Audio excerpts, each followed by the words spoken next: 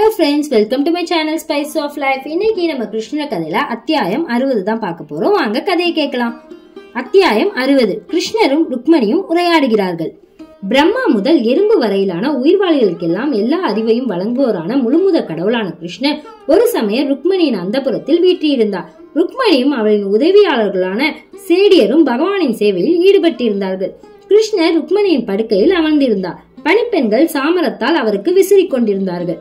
கிருஷ்ண ருக்மணியிடம் ஒரு ஆதர்ச கணவராக நடந்து கொண்டார். இது முழுமுத கடவுளின் உன்னதமான முழுமையின் முழுமையான தோற்றம். சில தத்துவ ஞானிகள் பூர்ண சத்தியமான கடவுள் இதை செய்யலாகாது அதை செய்யலாகாது என்று வரையறுத்து கூறுகிறார்கள். உன்னதமான பூர்ண சத்தியமாகிய கடவுள் மனித வடிவில் தோன்றுகிறார் என்பதையே அவர்கள் ஒப்புக்கொள்ள மறுக்கிறார்கள். ஆனால் உண்மை அதுவல்ல. குறைபாடுகளை கொண்ட நம் புலனறிவால் கடவுளை நாம் அளந்தறிவது இயலாத காரியம்.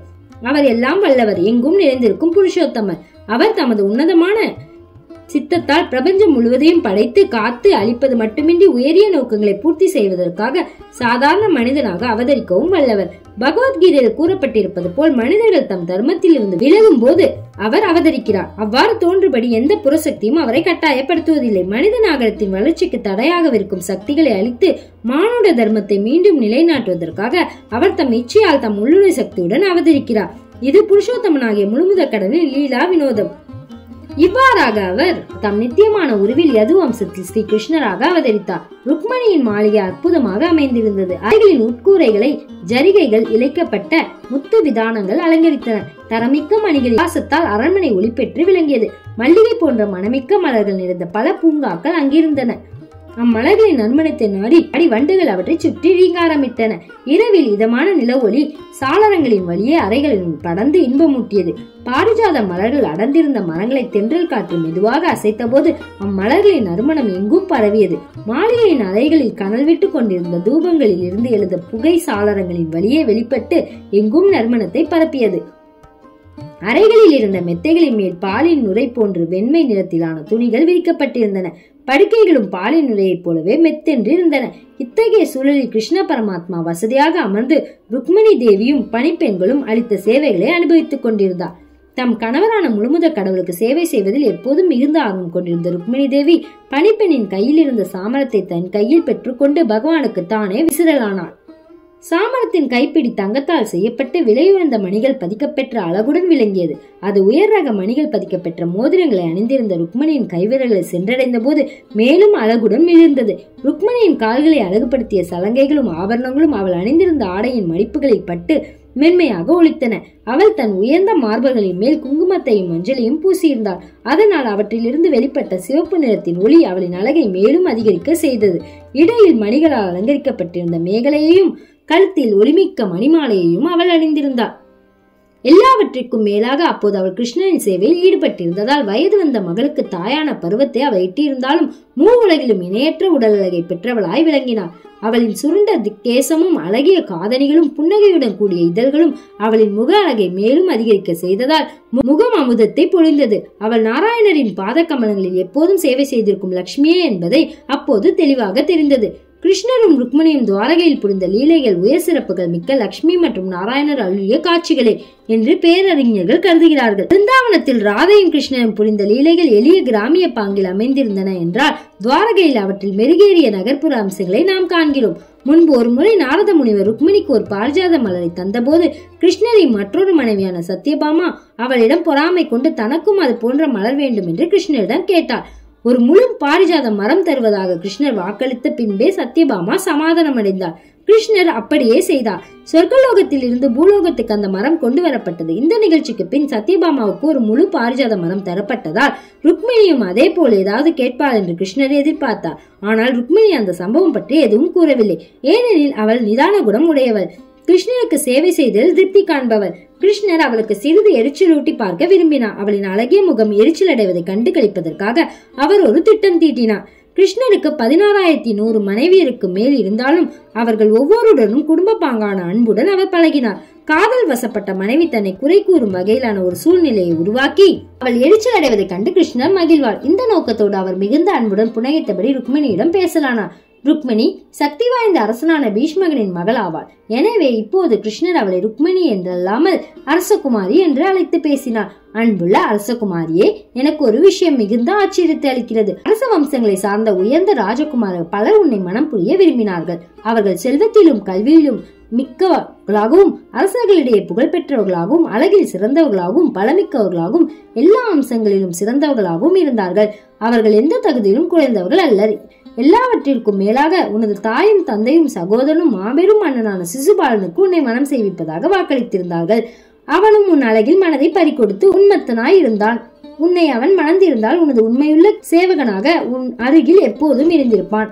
சிசுபாலனின் தனி சிறப்புகளை கருத்தில் கொண்டு பார்த்தால் நான் எல்லா வகையிலும் சிறந்தவன் அல்ல. இதை நீ நன்றாக அறிவாய். இருந்தும் சிசுபாலனை ஏற்றுக்கொள்ள நீ மறுத்து அவனை விட தகுதியில் குறைந்தவனான என்னை ஏற்றுக்கொண்டாய். இது எனக்கு ஆச்சரியமாய் இருக்கிறது. நீ மிகுந்த அழகி நிதான குணம் உடையவள் உயர் நலங்களை கொண்டவள். எனவே உனக்கு கணவனாகும் தகுதி எனக்கில்லை.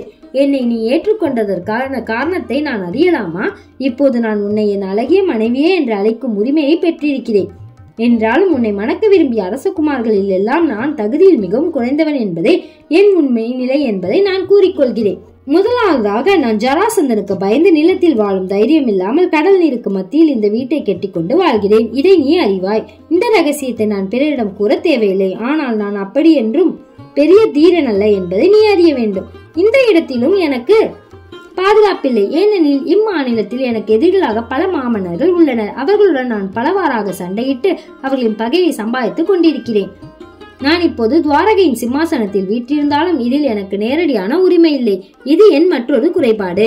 எனது மாமனான கம்சனை கொண்டு நான் இந்த ராஜ்யத்தை பெற்றிருக்கிறேன் என்றாலும் உண்மையில் இது என் பாட்டனாரை சேர வேண்டியது. எனவே எனக்கென ராஜ்யம் எதுவும் கிடையாது. தவிர வாழ்க்கையில் எனக்கென நிலையான குறிக்கோள் எதுவும் இல்லை. நான் பிருந்தாவனத்தில் ஒரு ஆயர்குல சிறுவனாக இருந்ததை எல்லோரும் அறிவார்கள். நான் என் வளர்ப்பு தந்தையான நந்த மகாராஜாவின் அடிச்சுவடுகளை பின்பற்றி ஸ்ரீமதி ராதாராணியிடமும் அவளின் தோழியரிடமும் உண்மையாக நடந்து கொள்வேன் என்று மக்கள் எதிர்பார்த்திருப்பார்கள். ஆனால் நான் திடீரென்று அவர்களை விட்டு விலகி வந்து விட்டேன். ஒரு புகழ்மிக்க அரசனாக நான் ஆசைப்பட்டேன். ஆனால் எனக்கென நாடு இல்லாததால் நான் அரசனாக ஆட்சி செய்ய முடியவில்லை. என் வாழ்வின் இறுதி நோக்கம் என்னவாக இருக்கக்கூடும் என்று அறியாமல் மக்கள் திகைக்கிறார்கள். நான் ஒரு இடையான அல்லது அரசனான நந்த மகாராஜாவின் மகனா அல்லது வசுதேவரின் மகனா என்பதை அறியாமல் அவர்கள் குழம்பி போயிருக்கிறார்கள். எனக்கு வாழ்க்கையில் பிடிப்பில்லாமல் இருப்பதால் மக்கள் என்னை ஒரு நாடோடி என்றும் எண்ணக்கூடும். எனவே இப்படி ஒரு நாடோடியை நீ ஏன் கணவனாக தேர்ந்தெடுத்தாய்? எனவே இப்படி ஒரு நாடோடியை நீ உன் கணவனாக தேர்ந்தெடுத்திருப்பது எனக்கு ஆச்சரியமாயிருக்கிறது. இது தவிர நான் நாகரிகமான பழக்க வழக்கங்களை உடையவன் அல்ல. ஒரு மனிதனுக்கு ஒரு மனைவிதான் இருக்க வேண்டும். ஆனால் நான் பலமுறை மனம் செய்து எனக்கு பதினாறாயிரத்துக்கும் மேற்பட்ட மனைவியர் உள்ளனர். அவர்களிடம் நான் நாகரிகமாக நடந்து கொள்ள முடியவில்லை. ஏனென்றால் நான் கிராமத்தில் பிறந்து வளர்ந்தவன் ஆகையால் நகர வாழ்வின் சூட்சமங்களை அறியாதவன். என்னிடம் பிரியம் கொண்டிருக்கும் பெண் இறுதியில் வாழ்நாள் முழுவதும் கண்ணீர் வடித்தபடி இருக்க நேரிடுகிறது என்பது நடைமுறையில் காணப்படும் உண்மை. பிருந்தாவனத்தில் கோபியர்கள் பலர் என்னிடம் பிரியமாய் இருந்தார்கள் இப்போது நான் அவர்களை பிரிந்து வந்துவிட்டேன். அவர்கள் என்னை நினைத்து கண்ணீர் விட்டபடி வாழ்ந்து கொண்டிருக்கிறார்கள். நான் பிருந்தாவனத்தை விட்டு வந்ததிலிருந்து எனது ஆயர்குல நண்பர்களும் கோபியர்களும் ராதாராணியும் என் வளர்ப்பு தந்தையான நந்த மகாராஜாவும் என்னை எண்ணி இடைவிடாது அழுது கொண்டிருப்பதாக அக்ரூரரும் முத்தவரும் என்னிடம் கூறியிருக்கிறார்கள். இப்போது நான் பிருந்தாவனத்தை விட்டு நிரந்தரமாக துவாரகைக்கு வந்து என் ராணியருடன் வாழ்கிறேன். ஆனால் உங்களில் எவருடனும் நான் முறையாக நடந்து கொள்ளவில்லை என்பதை நீ அறிவாய். நான் திறமான நடத்தை இல்லாதவன் என்பது உனக்கு தெரியும். நான் நம்பகமான கணவன் அல்ல. என்னிடம் அன்பு கொள்வதா வாழ்வில் இறுதியில் துக்கப்பட நேரிடும் என்பதே உண்மை நிலை. என் அழகிய அரசகுமாரி நான் காசு பணம் இல்லாதவன் என்பதையும் நீ அறிவாய். நான் பிறந்த உடனேயே ஒரு தரித்திரனாக நந்த மகாராஜாவின் இல்லத்துக்கு எடுத்து செல்லப்பட்டு அங்கு ஒரு இடைச்சிறுவனாக வளர்க்கப்பட்டேன். என் வளர்ப்பு தந்தையிடம் பல்லாயிரக்கணக்கான பசுக்கள் இருந்தாலும் அவற்றில் ஒன்று கூட எனக்கு சொந்தமானதா இருக்கவில்லை. இங்- இங்கும் நான் எதற்கும் உரிமையாளன் அல்ல. எப்போதும் காசு பணம் இல்லாதவனாக இருக்கிறேன். என் தரித்திர நிலையை பற்றி கவலைப்படுவதற்கில்லை. கடந்த காலத்திலும் நான் ஏதுமற்றவனாகையால் இப்போது என்னிடம் ஒன்றுமில்லாமல் இருப்பதற்காக நான் ஏன் வருந்த வேண்டும்? என் பக்தர்களும் ஏதுமற்றவர்கள் என்பதையும் நீ கவனித்திருப்பாய். அவர்களிடம் உலக ரீதியிலான செல்வம் எதுவும் இல்லை. இக உலக செல்வத்தை மிகுதியாக அடைந்திருப்பவர்கள் என்னிடம் பக்தி செலுத்தி கிருஷ்ண உணர்வில் இருப்பது அக்கறை காட்டுவதில்லை. மாறாக ஒருவன் மிகுந்த ஏழையாகும் போது அவனுக்கு தகுந்த வாய்ப்பு கிடைத்தால் என்னிடம் பிரியம் கொள்ள துவங்குகிறான். செல்வம் காரணமாக கர்வமடைந்திருப்பவர்கள் என் பக்தர்களுடன் பழகும் வாய்ப்பை பெற்றாலும் அதை பயன்படுத்தி என்னை பற்றி என்ன முற்படுவதில்லை. ஏழைகள் என்னை பற்றி சிந்திப்பார்களே தவிர பணக்காரர்கள் என்னிடம் அக்கறை கொள்வதில்லை. எனவே நீ என்னை தேர்ந்தெடுத்த அறிவுடைய செயலாக எனக்கு படவில்லை. தாய் தந்தையர் உன்னை அறிவுள்ளவர்களாக வளர்த்திருப்பதாக தெரிகிறது. இருந்தும் இறுதியில் வாழ்க்கை துணையை தேடிக்கொள்வதில் நீ பெரிய தவறை செய்திருக்கிறாய். ஆனாலும் இப்போது ஒன்றும் கெட்டுப்போகவில்லை செல்வத்திலும் பாரம்பரியத்திலும் அழகிலும் கல்வியிலும் எல்லா தகுதிகளிலும் உனக்கிணையான ஒரு கணவனை தேடிக்கொள்ளும் உரிமையை நான் உனக்கு அளிக்கிறேன். நீ செய்துள்ள தவறை இப்போது திருத்திக் கொள்ளலாம். வளமிக்க வாழ்வை உனக்கு நீ அமைத்துக் கொள்ளலாம். பொதுவாக யாரும் உன்னை தன்னை விட உயர்ந்தவர்கள் அல்லது தாழ்ந்தவர்களுடன் மன உறவு ஏற்படுத்திக் கொள்வதில்லை. விதர்ப நாட்டு அரசனின் அருமை மகளே உன் திருமணத்தை பற்றி நீ விவேகத்துடன் எண்ணி பார்க்காததால் என்னை கணவனாக தேர்ந்தெடுக்கும் தவறை செய்துவிட்டார். நான் மிக உயர்ந்தவன் என்றெல்லாம் நீ கேள்விப்பட்டது தவறு. உண்மையில் நான் ஒரு தரித்திரன். என்னையும் என் உண்மை நிலையையும் நேரில் காணாமல் என்னை பற்றி கேள்விப்பட்டதன் அடிப்படையில் என்னை கணவனாக வரித்து விட்டாய். அவ்வாறு நீ செய்தது சரியல்ல. எனவே இப்போதாவது காலம் தாழ்த்தாமல் உன் நிலையை நீ திருத்திக் கொள்வது நல்லது. இதுவே நான் உனக்கு வழங்கும் ஆலோசனை. புகழ்மிக்க சத்திரிய குல அரசகுமாரில் ஒருவரை தேர்ந்தெடுத்து மனம் புரிந்து கொண்டு என்னை நீ நிராகரித்து விடலாம். வயது வந்த பல பிள்ளைகளுக்கு தாயாகி இருந்த நிலையில் ருக்மணி தம்மை விவாகரத்து செய்து கொள்ளலாம் என்று கிருஷ்ணன் ஆலோசனை வழங்கினார். இந்த ஆலோசனை ருக்மணி எதிர்பார்த்திருக்க மாட்டாள். ஏனெனில் வேத பண்பாட்டின்படி விவாகரத்தின் மூலம் கணவனும் மனையும் பிரிவது என்ற பேச்சுக்கு இடமில்லை. அதுவும் மனமான பல மகன்களை அடைந்து வயது முதிர்ந்த நிலையில் இருந்த ருக்மணிக்கு அது சாத்தியமில்லை. கிருஷ்ணரின் ஆலோசனை ருக்மணிக்கு பைத்தியக்காரத்தனமாக பட்டது அவர் அப்படியெல்லாம் பேசியது அவளுக்கு ஆச்சரியத்தை அளித்தது. எளிய சுபாவம் உள்ள அவள் கிருஷ்ணனை விட்டு பிரிய நேரிடுமோ என்று எண்ணி மிகுந்த கவலைக்குள்ளானார் கிருஷ்ணன் மேலும் கூறினா உன் மறுவாழ்வுக்கு உன்னை நீ தயார் செய்து கொள்ள வேண்டியது அவசியம் அல்லவா? எனவே இந்த வாழ்விலும் மறுவாழ்விலும் உனக்கு உதவக்கூடிய ஒருவரை நீ தேர்ந்தெடுத்துக்கொள் ஏனெனில் நான் உனக்கு எவ்வகையிலும் உதவக்கூடியவன் அல்ல. அன்புள்ள அரசகுமாரியே சிசுபாலன் சால்வன் ஜராசந்தன் நந்தவக்ரன் உன் மூத்த சகோதரனான ருக்மி உட்பட எல்லா அரசர்களும் அரசகுமாரர்களும் எனக்கு எதிரிகள் என்பதை நீ அறிவாய். அவர்கள் தங்கள் உள்ளத்தின் அடித்தளத்தில் இருந்து என்னை வெறுக்கிறார்கள். உலக உடைமைகளை மிகுதியாக பெற்றிருந்ததால் கர்வமடைந்திருந்த இவர்கள் எல்லோரையும் துச்சமாக கருதினார்கள். அவர்களுக்கு பாடம் கற்பிப்பதற்காக உன் விருப்பப்படி நான் உன்னை கடத்தி வந்தேன். மற்றபடி திருமணத்துக்கு முன்பே நீ என்னை காதலித்தாலும் உண்மையில் உன்னிடம் எனக்கு காதல் எதுவும் இல்லை. நான் ஏற்கனவே விவரமாக கூறியது போல் குடும்ப வாழ்விலோ கணவன் மனைவி காதல் உறவிலோ எனக்கு அவ்வளவாக அக்கறை எதுவும் இல்லை. குடும்ப வாழ்வு மனைவி குழந்தைகள் செல்வம் இவற்றில் எனக்கு பற்றுதல் இல்லை. இது என் இயல்பு. என் பக்தர்களைப் போல் நானும் இவற்றை பற்றி எண்ணுவதில்லை. ஆத்ம உணர்வு மட்டுமே எனக்கு பிடித்தமானது. அதுவே எனக்கு இன்பம் தருவது. இந்த குடும்ப வாழ்வல்ல. இவ்வாறு கூறிக்கொண்டு வந்த கிருஷ்ண பரமாத்மா திடீரென்று பேசுவதை நிறுத்தினார். கிருஷ்ண தம் நேரம் முழுவதையும் அநேகமாக ருக்மிணியுடன் இருப்பதில் செலவிட்டதால் ருக்மிணி தன் நல்லதிஷ்டத்தை எண்ணி சிறிது கர்வமுற்றிருந்தாள் என்று மகா பண்டிதரான சுகதேவ கோஸ்வாமி குறிப்பிடுகிறார். ஆனால் தன் பக்தர்கள் யாரும் கர்வம் கொள்வதை கிருஷ்ணர் விரும்புவதில்லை. ஒரு பக்தன் அவ்வாறு நடந்தால் கிருஷ்ணர் ஏதாவது உபாயத்தை கையாண்டு அவனின் கர்வத்தை அடக்குகிறார். ருக்மிணி விஷயத்தும் அவளால் சகித்துக் கொள்ள முடியாத பல கருத்துக்களை அவர் கூறினார். இதனால் தன் உயர்நிலையை பற்றி கர்வம் கொண்டிருந்த ருக்மிணி எந்த நேரமும் கிருஷ்ணர் தன்னை விட்டு பிரிய நேரிடலாம் என்பதை உணரலானாள். தன் கணவன் ஒரு சாதாரண மானுடன் அல்ல என்பதை ருக்மணி அறிந்திருந்தாள். அவர் புருஷோத்தமாகிய முழுமுத கடவுள் மூ உலகிற்கும் அதிபதியானவர். இதற்கு முன்பு கிருஷ்ணர் இவ்வளவு கடுமையாக அவளிடம் பேசியதில்லை. ஆகையால் பகவான் தன்னை விட்டு பிரியக்கூடும் என்ற அச்சம் அவளுக்கு ஏற்பட்டது. பிரிவு ஏற்படலாம் என்ற எண்ணத்தில் அவள் குழப்பமடைந்தாள். அவளின் இதயம் துடிக்கலாயிற்று. அவளுக்கு எவ்வி அவருக்கு எவ்வித பதிலும் கூறாமல் துக்க சாகரத்தில் மூழ்கியவளாய் அழத் தொடங்கினாள். மௌனமாக கால் நகத்தை தரையில் கீறியவளாய் சிவந்த கண்களில் நீர் சொரிந்து கண்ணின் மையை கரைக்க வழிந்த கண்ணீர் அவள் மார்பில் பூசியிருந்த குங்குமத்தையும் மஞ்சளையும் நினைத்தது. கவலை மிகுதியால் அவளுக்கு தொண்டை அடைத்தது. எதுவும் பேச முடியாமல் தலையை குனிந்தபடி கம்பம் போல் நின்றிருந்தாள். மிகுதியான அச்சத்தாலும் ஆற்றாமையாலும் அவள் உடல் நலிவுற்றதால் அவளின் கை வளையல்கள் கலன்று விழுந்தன. கிருஷ்ணரின் சேவையில் அவள் கையில் பிடித்திருந்த சாமரம் நழுவி கீழே விழுந்தது. அவள் மனநிலை தடுமாறி நினைவிழந்து சிகை அலங்காரம் சிதற புயலில் அடிபட்ட வாளை போல் தரையில் விழுந்தாள். கிருஷ்ண பேசியதை ருக்மிணி விளையாட்டாக எடுத்துக்கொள்ளாமல் அவர் உண்மையாகவே அவ்வாறு பேசினார் என்று கருதியதால் அவளுக்கு அந்நிலை ஏற்பட்டது என்பதை அவர் உணர்ந்தார் அவர் உண்மையிலேயே தன்னை விட்டு பிரிந்து விடுவாரோ என்று அவள் அஞ்சியதால் தன் நினைவிழந்தார் தன் பக்தர்களிடம் எப்போதும் பரிவு காட்டும் பகவான் கிருஷ்ணரின் உள்ளம் அவளின் நிலையை கண்டதும் இலகியது. அவளின் பால் அவருக்கு கருணை பிறந்தது. கிருஷ்ணருக்கும் ருக்மணிக்கும் இடையேயான உறவு லட்சுமி நாராயண உறவாகும். எனவே அவர் உடனே நான்கு கைகளையுடைய நாராயண உறவில் ருக்மணி முன் தோன்றி தம் குளுமையான கரங்களை அவளின் தலையில் மேல் வைத்து கலைந்திருந்த தேசத்தை வருடி சரி செய்தார் நனைந்திருந்த அவளின் மார்பை தம் கையால் துடைத்த அவளின் உண்மையான அன்பை புரிந்து கொண்டு அவளை மார்புற தழுவினார் விஷயத்தை ஒருவர் எளிதில் புரிந்து கொள்ளும்படி எடுத்து சொல்வதை வல்லவராகிய முழுமுத கடவுள் ருக்மணிடன் தாம் முன்பு கூறியதை எல்லாம் மாற்றி கூற முற்பட்டார். பக்தர்களின் ஒரே புகலிடமான அவர் அவர்களை திருப்திப்படுத்தும் முறையையும் அறிவார். தாம் விளையாட்டாக கூறினவற்றை ருக்மணி புரிந்து கொள்ளவில்லை என்பதை அறிந்த கிருஷ்ணர் அவளின் குழப்பத்தை தீர்ப்பதற்காக பின்வருமாறு பேசினார். விதர்பராஜனின் மகளே என் அன்பிற்குரிய ருக்மிணியே என்னை தவறாக புரிந்து கொள்ள வேண்டாம். இப்படி நீ என்னை வருத்தலாகாது. என்னிடம் நீ உண்மையான அன்பும் அக்கறையும் கொண்டிருப்பதை நான் அறிவேன். நீயே எனக்கு நித்தியமான துணைவி. உன்னை இவ்வளவு வருத்தத்துக்குள்ளாக்கிய என் சொற்கள் உண்மையாகவே பேசப்பட்டவை அல்ல. உன்னை நான் சற்று சீண்டி பார்க்க விரும்பினேன். நீயும் பதிலுக்கு என்னிடம் விளையாட்டாக உரையாடுவாய் என எதிர்பார்த்தேன். ஆனால் துரதிருஷ்டவசமாக நான் கூறியதெல்லாம் உண்மையை நீ எடுத்துக்கொண்டு விட்டாய். அதற்காக நான் வருதுகிறேன் நான் பேசியதை கேட்டு கோபத்தால் உன் சிவந்த உதடு துதிக்க என்னை நீ பல சொற்களால் கடிந்து கொள்வாய் என நான் எதிர்பார்த்தேன். அன்பின் நிறைவே என் சொற்களை கேட்டு நீ இந்நிலைக்கு ஆளாவாய் என நான் எதிர்பார்க்கவில்லை. என்னிடம் கோபம் கொண்டு உன் கண்கள் துடிக்கும் அழகை கண்டு ரசிக்கலாம் என நான் எண்ணினேன்.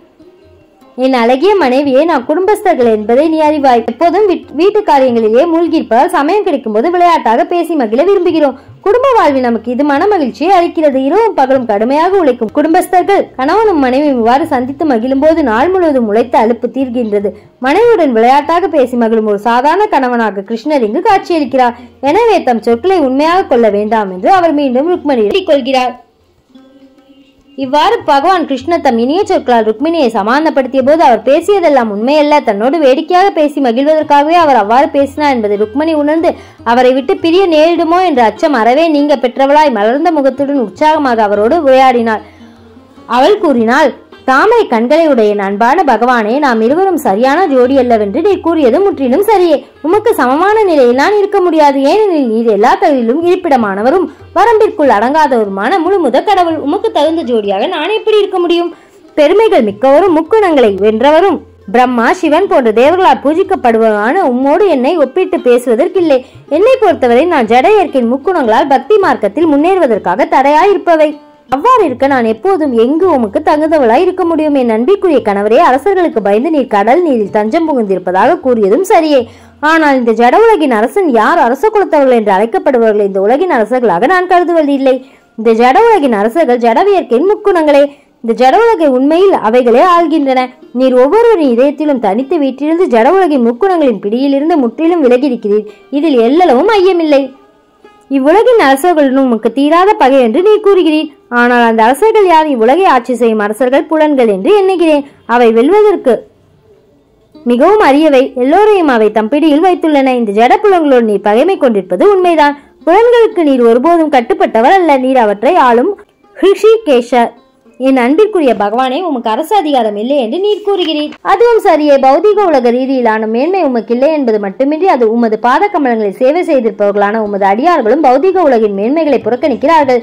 ஏனெனில் பௌதிக நிலையை அவர்கள் ஆன்மீக ஒளி பெறுவதற்கு தடையாக இருக்கும் மிக இருண்ட பிரதேசமாக கருதுகிறார்கள். இது சேவகர்களே இவ- உலக மேன்மைகளை விரும்பாத போது உண்மை பற்றி என்னவென்பது? என் அன்பிற்குரிய பகவானே நீர் ஒரு சாதாரண மனிதனைப் போல் வாழ்வில் ஒரு குறிப்பிட்ட நோக்கத்தோடு செயல்படுவர் அல்ல. என்று கூறுவது முற்றிலும் சரியே. மகா முனிவர்கள் என்றும் புனிதர்கள் என்றும் உமது மகா பக்தர்களும் சேவைகளும் கூட அவர்கள் எந்த குறிக்கோளுடன் வாழ்கிறார்கள் என்பதை யாரும் அறிய முடியாத நிலையில் வாழ்கிறார்கள். உலகம் அவர்களை பித்தர்கள் என்றும் வாழ்வில் வெறுப்படைந்தவர்கள் என்றும் அழைக்கிறது. சாதாரண மனிதர்களுக்கு மனித வர்க்க கீழ்ப்படியில் இருப்பவர்களால் உண்மையும் உமது சேவகர்களையும் ஒருபோதும் புரிந்து கொள்ள இயலாது. மாசுபணிந்த மனிதன் உமது லீலைகளையும் உமது பக்தர்களின் செயல்களையும் கற்பனையில் கூட எண்ணி பார்க்க முடியாது. வரம்பற்றவரே உமது புதிராக தோன்றும் போது உமது நோக்கத்தையும் செயல்களையும் அவர்கள் புரிந்து கொள்வது எப்படி? பல வகையான சக்திகளும் சிறப்புகளும் உமது சேவையில் ஈடுபட்டுள்ளன என்றாலும் அவையெல்லாம் உம்மில் தஞ்சமடைந்துள்ளன.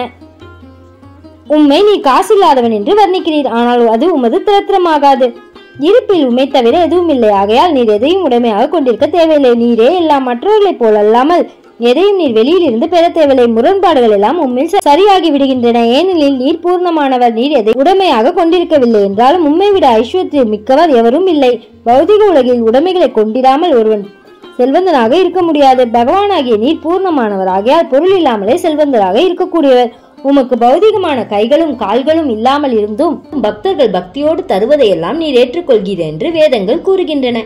உமக்கு பௌதிகமான கண்களோ காதுகளோ இல்லை என்றாலும் எங்கும் எல்லாவற்றையும் நீர் காண வல்லவர் கேட்க வல்லவர். உம்மிடம் உடைமைகள் எதுவும் இல்லாவிட்டாலும் பிறரின் பிரார்த்தனைகளையும் வழிபாட்டையும் ஏற்கும் மகிமை மிக்க தேவர்களும் உம்மிடம் வந்து உமது கருணையை வேண்டி நிற்கிறார்கள். எனவே உம்மை தரித்திரன் என்று எவ்வாறு வர்ணிப்பது?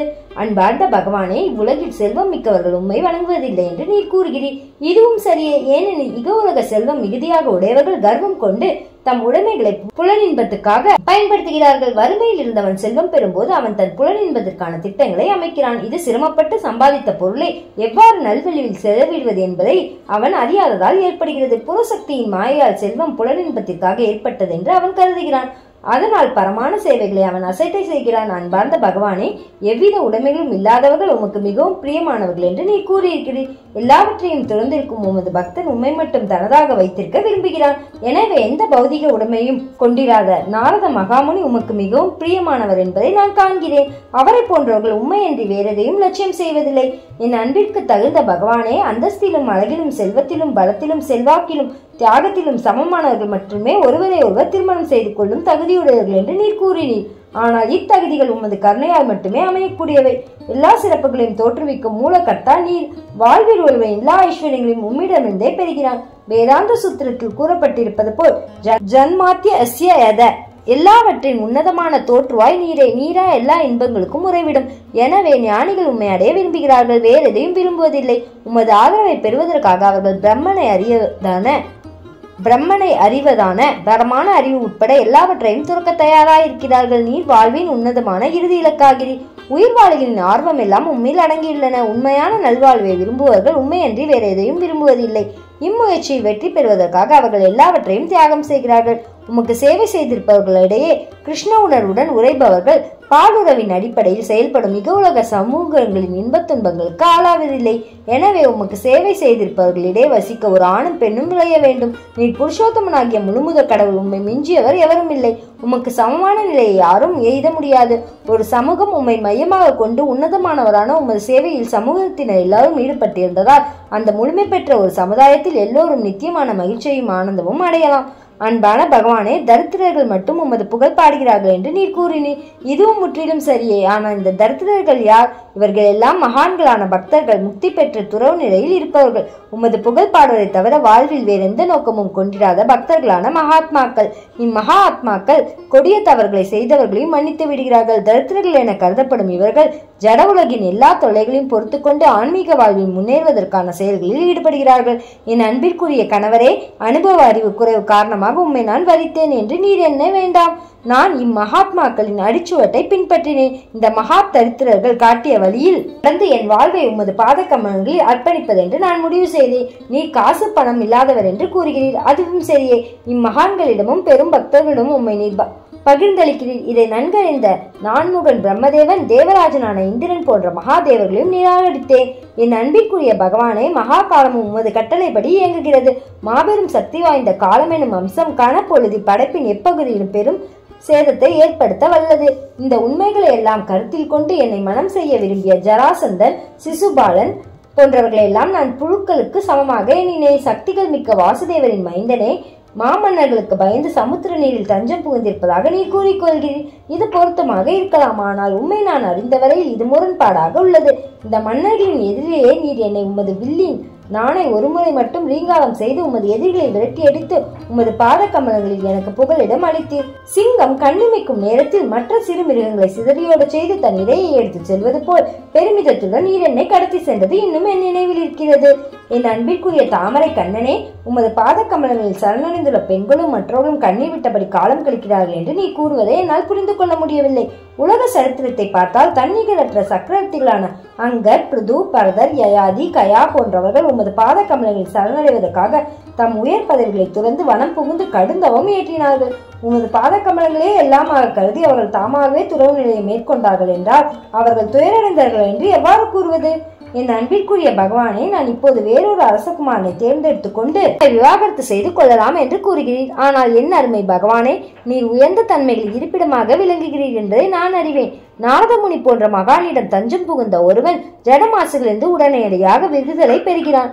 உமக்கு நேரடியாக சேவை புரியும் லக்ஷ்மி தேவி எல்லா நலன்களையும் வழங்க ஒரு முற்படுகிறார். இவ்வாறு இருக்க உமது சிறப்புகளை கேட்டறிந்து உமது பாத கமலங்களின் அமுத மனத்தை நுகர்ந்து அனுபவித்த எந்த பெண்ணும் மரணம் நோய் முதுமை மறுபிறவி ஆகியவரை கண் அஞ்சும் ஒரு ஜட உடல வாசியை மன- மணக்க சம்மதிக்கும் அளவுக்கு முட்டாளா இருப்பாளா? எனவே நான் நன்கு ஆராய்ந்த பின்னரே உமது பாத கமலங்களை ஏற்பதென்று முடிவுக்கு வந்தேன். அன்பார்ந்த பகவானே நீ மூவுலகையும் ஆள்பவர். இம்மையிலும் மறுமையிலும் உமது பக்தர்களின் எல்லா விருப்பங்களையும் நீ பூர்த்தி செய்ய வல்லவர். ஏனெனில் நீர் ஒவ்வொருவரின் இதயத்திலும் வீற்றிருக்கும் பரமாத்மா. எனவே நான் உன்னை என் கணவராக தேர்ந்தெடுத்துள்ளேன். நீர் மட்டும் அதற்கு தகுதியானவர் என்பது என் கருத்து. என் கர்ம வினைகளின் பலனாக என்னை நீர் எப்பிறவியையும் எடுக்கச் செய்யலாம். அதை பற்றி எனக்கு சிறிதும் கவலை இல்லை. உமது பாதக்கமலிலிருந்து நான் ஒருபோதும் விலகாமல் இருக்க வேண்டும் என்பது மட்டுமே என் அபிலாஷை. ஏனெனில் நீர் உமது பக்தர்கள் ஜடவிருப்பின் மாயிலிருந்து விடுவித்து உம்மை அவர்களுக்கு பகிர்ந்தளிக்க எப்போதும் சித்தமாயிருக்கிறீர். என் அன்பார்ந்த பகவானே சிசுபாலன் ஜராசந்தன் அல்லது தந்தவக்ரன் போன்ற ஒரு அரசகுமாரனை தேர்ந்தெடுக்கும்படி எனக்கு நீர் ஆலோசனை கூறுகிறீர். ஆனால் இவ்வுலகில் அவர்களின் நிலை என்ன? அவர்கள் தங்களின் குடும்பங்களை காப்பாற்றுவதற்காக செக்கு மாடுகளைப் போல் இரவும் பகலும் கடினமாக உழைத்துக் கொண்டிருக்கிறார்கள். அவர் கழுதைகளுக்கும் சுமை தூக்கும் மிருகங்களுக்கும் ஒப்பிடலாம். அவர்கள் நாய்கள் போல் இழிவானவர்களாக கருதப்படுகிறார்கள். பூனைகளைப் போல் கஞ்சர்களாய் வாழ்கிறார்கள். தத்த மனைவியருக்கு கட்டுப்பட்ட அடிமைகளைப் போல் நடந்து கொள்கிறார்கள். உமது மகிமைகளை பற்றி கேட்கும் நல்வாய்ப்பை பெறாத ஒரு பெண் அவர்களைப் போன்றவர்களை மணக்க சம்மதிக்கலாம். ஆனால் உமது மகிமைகளை பற்றி கேள்விப்பட்டிருக்கும் ஒரு பெண் இவ்வுலகில் மட்டுமின்றி பிரம்மதேவன் மற்றும் சிவபெருமான் போன்ற மகாதேவர்களிடையேயும் உமது புகழ் பேசப்படுவதை அறிந்திருக்கும் ஒரு பெண் உண்மை என்று வேறு எவரையும் கணவராக ஏற்றுக்கொள்ள விரும்ப மாட்டார் இவ்வுலகை சார்ந்த மனிதன் ஈடுபட்ட சடலத்துக்கு சமமாவான். இவ்வுலகில் உயிர் வாழ்பவன் தாடி மீசை உடல் மயிர் விரல் நகங்கள் தலைமுடி ஆகியவற்றால் அலங்கரிக்கப்பட்டிருக்கும் ஒரு தோல் பையால் மூடப்பட்டிருக்கிறான். அலங்கரிக்கப்பட்ட இத்தோல் பையினுள் தசைக்கூறுகளும் எலும்பு மூட்டைகளும் இரத்த மடுக்களும் மலம் மூத்திரம் பித்தம் ஆகியவற்று கலந்து பல வகையான கிருமிகளாலும் புழுக்களாலும் உண்டு அனுபவிக்கப்படுகின்றான். அறிவற்ற பெண் இப்படிப்பட்ட உடலுடையவனை தன் கணவனாக ஏற்றுக்கொண்டு உண்மையை உணராமல் அவனை தன் வாழ்க்கை துணையாக கருதி அவனிடம் அன்பு செலுத்துகிறார் உமது பாதகமலங்களின் நித்தியானந்தத்தை உணர்ந்தறியாத காரணத்தால் அவள் அவ்வாறு வாழ்கிறார். தாமரை கண்ணனான என் அருமை கணவரே நீர் தம்மில் திருப்தி அடைந்தவர் நான் அழகுள்ளவளா தகுதியுள்ளவளா என்பது பற்றி நீர் எண்ணுவதில்லை. அதை பற்றி சிறிதும் கவலைப்படுவதில்லை. எனவே என்னிடம் நீர் பற்றில்லாமல் இருப்பதில் ஆச்சரியம் எதுவும் இல்லை. அது இயல்பானதே. ஒரு பெண் அழகிலும் அந்தஸ்திலும் மிக உயர்ந்தவளா இருந்தாலும் நீர் அவளிடம் பற்றுடன் இருக்க மாட்டேன். உமக்கு என்னிடம் பிரியம் இருந்தாலும் இல்லாவிட்டாலும் எனது கருத்தும் பக்தியும் உமது பாத கமலங்களில் நிலைத்திருக்கட்டும். காமம் எனும் ஜடகுணமும் உம்மால் படைக்கப்பட்ட ஒன்றாகையால் நீர் என்னை இச்சையுடன் நோக்குவதை என் வாழ்வின் பெரும் பாக்கியமாக நான் கருதுகிறேன். அத்தகைய சுப வேலைக்காக நான் ஆர்வமுடன் எப்போதும் காத்திருக்கிறேன். ருக்மணி பேசியதையும் அவளின் அன்பு கோபத்தை மூட்டுவதற்காக அவர் பயன்படுத்திய ஒவ்வொரு சொல்லுக்கும் அவள் அளித்த விளக்கத்தையும் கேட்ட கிருஷ்ணர். பின்வருமாறு கூறினார் என் அன்பிற்குரிய பத்தினியே உன்னிடமிருந்து நான் இத்தகைய விளக்கத்தை எதிர்பார்த்து வேண்டுமென்றே உண்மையை மறைத்து உன்னிடம் விளையாட்டாக பேசினேன். என் நோக்கம் நிறைவேறிவிட்டது. என் சொல் ஒவ்வொன்றுக்கும் நீ அளித்த அற்புதமான விளக்கம் முற்றிலும் பொருத்தமானது. அதை நான் முற்றிலும் ஆமோதிக்கிறேன். அழகில் சிறந்த ருக்மணியே என் மிகுதியான அன்பிற்குரிய மனைவினியே என்னிடம் நீ அளவற்ற அன்பு கொண்டிருப்பதை அறிந்து நான் மிக்க மகிழ்ச்சி அடைகிறேன். உன் விருப்பம் எதுவாயினும் நீ என்னிடம் இருந்து என்ன எதிர்பார்த்தாலும் அதை நிறைவேற்ற நான் எப்போதும் சித்தமாயிருக்கிறேன். என் பக்தர்களும் என் மிகுந்த அன்பிற்குரிய நண்பர்களும் சேவைகளும் ஜரமாசிலிருந்து விடுதலை பெற வேண்டும் என்று என்னிடம் வேண்டிக் கொள்ளாமலே அதிலிருந்து எப்போதும் விடுபட்டிருக்கிறார்கள் என்பது உண்மை.